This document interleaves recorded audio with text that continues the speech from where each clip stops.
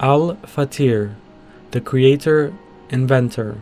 I seek refuge in Allah from the accursed Satan. My Lord, you have granted power to me on earth and taught me the true meaning of events. Originator of the heavens and earth, you are my friend in this world and the next. So take me as a Muslim at my death and join me to the people who are good.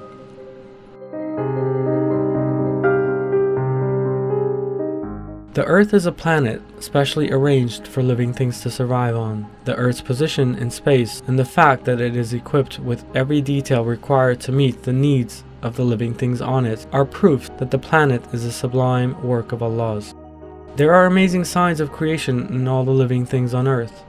Each one lives in the habitat most suitable for it, and with appropriate bodily features. The cell, the essential building block of all living things, is by itself a perfect system, with all the organelles inside it. The order inside the cell is so immaculate that it by itself proves the impossibility of life emerging spontaneously. There are signs of a manifest creation in all the details we see or do not see around us. There is no doubt that the features of all these belongs to Allah the creator of all things. Allah reveals the perfection of the system He has created in Surah Al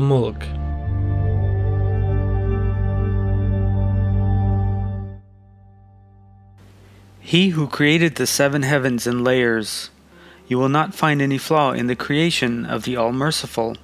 Look again. Do you see any gaps? Then look again and again. Your sight will return to you dazzled and exhausted.